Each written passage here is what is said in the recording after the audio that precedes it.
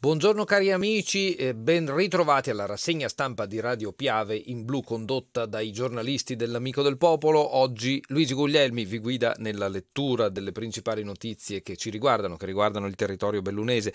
Ma prima mh, mm, vorrei cominciare con una notizia fresca che non trovate quindi sui giornali mh, mm, in edicola questa mattina è una notizia che ci è arrivata dai, direttamente dai carabinieri questa mattina. Eh, un masso prima delle 7, un grosso sasso, è caduto sull'asfalto, si è fermato sull'asfalto della statale 51 di Alemagna, poco sopra Cortina, dopo la località di Fiames. Le notizie che ho in questo momento eh, sono quelle appunto che sono arrivate dai carabinieri con una fotografia abbastanza impressionante eh, perché il sasso è di grosse dimensioni. Per fortuna è accaduto di notte e quindi eh, non è stato coinvolto nessun veicolo, fosse successo credo che, che avremmo notizie ben peggiori perché si tratta di, un, di, un, di, un, di una roccia di notevoli dimensioni come vi dicevo.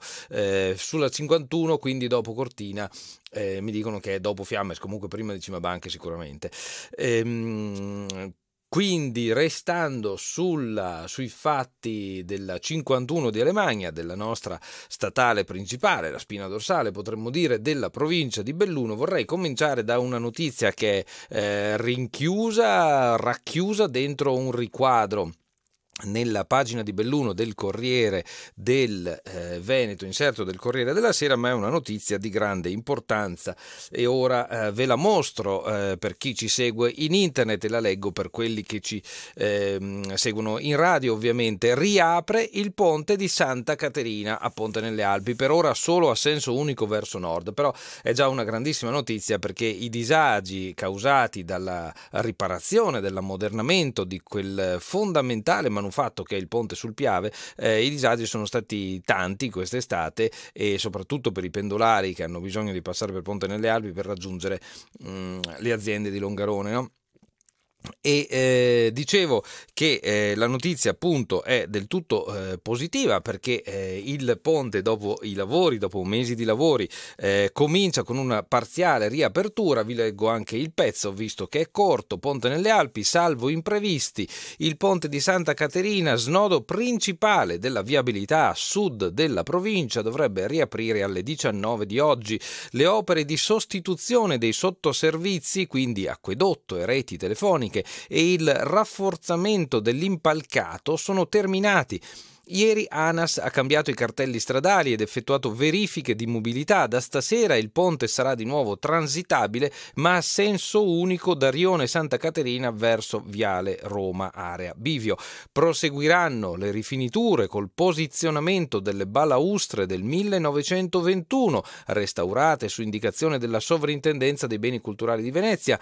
I lati della carreggiata saranno ampliati di 75 cm per parte, con guardarobe guardrail di protezione. Questi ultimi interventi proseguiranno fino al 23 novembre quando ci sarà la riapertura totale del ponte e mh, mm, c'è poco da fare quando parliamo di, eh, di, opere di questo tipo, di infrastrutture di questo tipo. Eh, il ricordo non può, eh, non può, non andare al ponte Morandi di Genova, a quello che è successo lì. Eh, qui si tratta di un ponte, come abbiamo sentito, come abbiamo letto, anche eh, piuttosto vecchiotto, perché eh, se, significa che ha cent'anni, insomma, e, ehm, e richiedeva assolutamente delle, delle opere di ammodernamento, non solo per i danni dovuti all'età, ma perché, come abbiamo detto mille volte, eh, il traffico, il tipo di traffico che grava sulle nostre strade, quindi anche sui ponti che le caratterizzano, ehm, è un traffico totalmente diverso da quello di 20-30 anni fa, eh, perché 30-40 anni facciamo, insomma, tanto più cent'anni fa,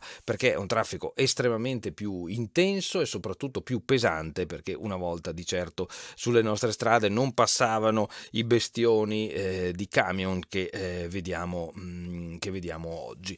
Tornando al al, alla pagina del Corriere eh, del Veneto che tratta di Belluno, siamo a pagina 10, eh, il titolone eh, di apertura è questo, Gabelli e Crepadona si parte, cantieri aperti per la rinascita, tra due anni operativa la scuola, centro culturale, via il cubo di botta. Ecco, queste notizie eh, magari sembreranno marginali per chi non vive a Belluno, che pure appunto è il capoluogo della nostra provincia, dove risiedono 36.000 persone, eh, quindi insomma la centralità di, di, di, questa notizia di fatto è, è già riassunta in questi, in questi, numeri. Bene, per chi vive a Belluno stiamo parlando di spazi estremamente eh, importanti eh, che eh, condizionano un po' la percezione collettiva anche della, eh, della città e dei suoi, e dei suoi problemi, no? perché le scuole Gabelli che sono state chiuse, le storiche scuole Gabelli che sono state chiuse per quei distacchi di cornicioni ehm, di cui abbiamo mille volte detto, no? Eh, che hanno portato anche alla creazione di una scuola provvisoria all'interno del Parco Città di Bologna, che sono le nuove Gabelli, tuttora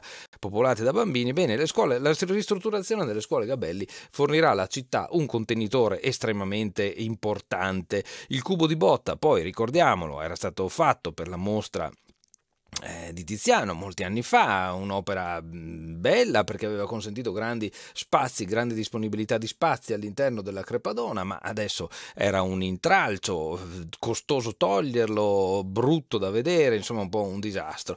Bene, l'altra fotografia, le foto che ci sono in pagina riguardano appunto il cantiere delle Gabelli, il cantiere a Palazzo Crepadona, c'è un eh, camion fuori dall'ingresso della, eh, della civica, della biblioteca del palazzo e eh, il cantiere che c'è di fianco al comune comunale per interrare le eh, isole mh, ecologiche, no? i bidoni dei rifiuti sostanzialmente, che avranno una capienza molto più grande ma saranno praticamente interrati, spunteranno su solo per la parte alta, quindi rendendo eh, più gradevole la loro vista in pieno centro di Belluno. Ben 540 giorni, dice l'articolo che ha firma di eh, Moreno Gioli, tanti ne serviranno per vedere il nuovo volto della scuola Aristide Gabelli e adesso è scattato ufficialmente il conto conto alla rovescia. Ieri le ditte padovane a teste costruzioni SRL di Este e Ranzato Impianti di Padova hanno aperto il cantiere che in poco più di un anno e mezzo di lavori riconsegnerà completamente rivisto alla città uno dei suoi edifici simbolo chiuso da 12 anni.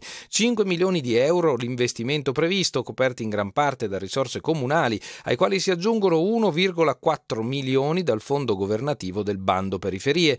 Tra meno di due anni, quindi, la rinascita nei locali della scuola Gabelli nascerà un polo primi passi con asilo nido, scuola dell'infanzia e primaria, ma è difficile ipotizzare un immediato utilizzo prima di completare l'acquisto degli arredi, ehm, prima resterà da completare l'acquisto degli arredi non compresi nel finanziamento del bando. Questo è un problema che abbiamo già visto per il museo, che, che, che, che ritorna, insomma, c'è un conto a ristrutturare i muri, poi bisogna anche riempirli, no? E sono soldi. Da ieri è un po' più vicina anche la nuova Mediateca delle Dolomiti che nascerà a Palazzo Crepadona, un altro tassello del grande piano di rigenerazione urbana che va al suo posto. Anche qui ieri l'avvio ufficiale del cantiere con l'appalto vinto dallo stesso raggruppamento temporaneo di imprese che realizzerà le nuove Gabelli. 2 milioni e 700 mila euro l'importo totale dei lavori. Andrà in pensione dopo 12 anni il cubo di botta realizzato dall'Archistar Italo-Svizzera in occasione della grande mostra sul Tiziano organizzata dalla provincia, poi utilizzato per numerose altre esposizioni, ultime in ordine di tempo, quelle legate all'edizione 2019 del Festival sulla montagna oltre le vette. Io eh, mi fermo qui perché eh, voglio leggervi qualche altro, eh, qualche altro lancio, l'articolo comunque se vi interessa sulle opere Belluno è ancora abbastanza lungo, siamo alla pagina 10 del Corriere del Veneto. Dunque, ehm, area processi, area giustizia, la prima versione ritrattata, omicidio stradale, la madre dell'accusato l'ho fatto bere io prima dello schianto. Mio figlio non era ubriaco al momento dell'incidente, gli ho versato io dopo un bicchiere e mezzo di grappa per calmarlo.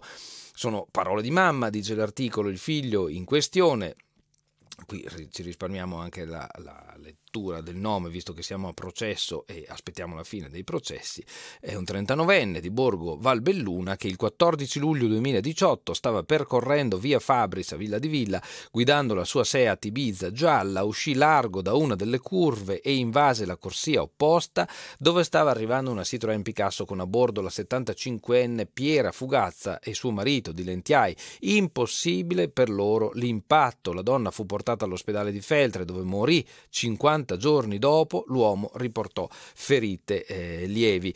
Ecco, questo era il fatto. Adesso appunto ehm, si va avanti e bisogna capire eh, se veramente mm, l'autore dell'incidente eh, era eh, o no ubriaco al momento dell'impatto e se questo può aver causato l'incidente perché chiaramente ciò aggraverebbe la sua posizione. Cornicione sbriciolato, precipitano calcinacci, parliamo di Belluno, via Tasso, c'è la foto che abbiamo messo ieri anche sull'Amico del Popolo dell'auto rovesciata ad Anzù senza conseguenze per eh, l'unico occupante, sentenza in Cassazione, centralina idroelettrica alle sorgenti del Piave, bocciatura definitiva, vedremo che questa notizia che qui di taglio basso altrove su altri giornali è molto in rilievo, Passi tra passi, libro e concerto al comunale, affollato il 4 novembre. La rassegna che Belluno ci offre da anni ormai, la città di Belluno, di Belluno, che ci propone come una riflessione sulla morte, anche qui ben altro rilievo su altri giornali. Il lutto De Candido, l'albergatore, è morto. Santo Stefano di Cadore,